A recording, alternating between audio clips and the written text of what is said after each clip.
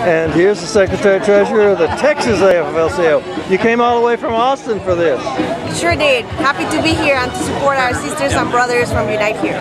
How does it? How does this relate to the whole union movement?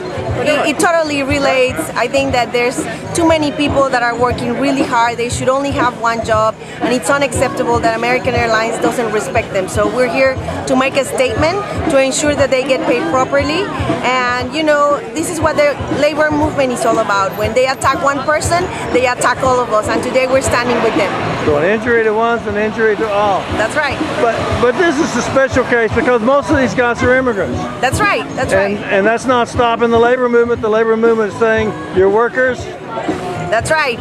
All, all of the people that are that work in the cafeterias, in the catering um, here with Unite Here are immigrants. They, they're people that look like me. They're people that have stories like mine, and they're people that are very courageous and that they're willing to work and put themselves on the line to say enough, it's enough. We have to have one job. We have to be able to feed our families with one job only.